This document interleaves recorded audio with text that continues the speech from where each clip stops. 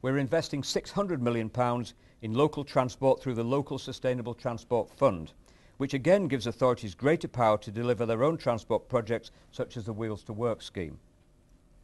Wheels to Work schemes can provide transport, usually mopeds, motorcycles or bicycles, to people who are unable to access training, employment or education due to a lack of suitable public or private transport.